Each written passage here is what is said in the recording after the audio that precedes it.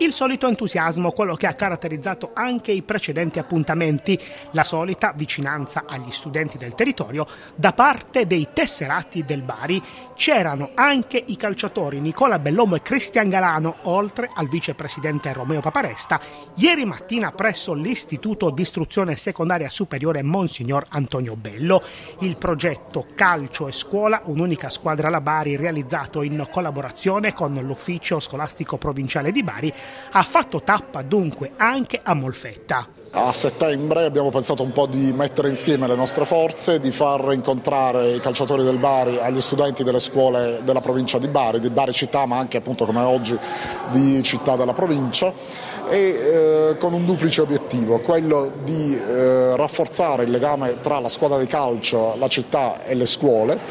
quindi di rafforzare un senso anche di appartenenza, di identità culturale che è fatto anche dal tifo per una squadra di calcio, quindi noi vogliamo che i nostri ragazzi diventino alla fine tifosi del Bari piuttosto che di grandi squadre del nord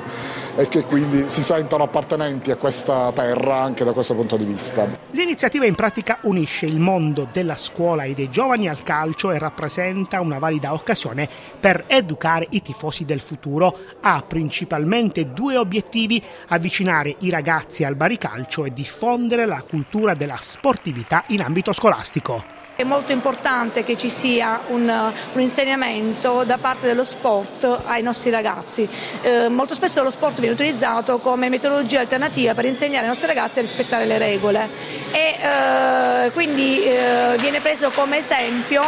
per poter eh, far sì eh, che i nostri ragazzi abbiano uno sviluppo integrale della loro personalità, perché da un lato li aiuta a sviluppare il loro sé corporeo da un punto di vista completamente fisico, dall'altro gli dà la possibilità di svilupparsi anche in maniera, eh, per, quel che attiene eh, il loro aspetto cognitivo, intellettivo, ma soprattutto quello sociale, sia da un punto di vista relazionale che eh, di quello della comunicazione.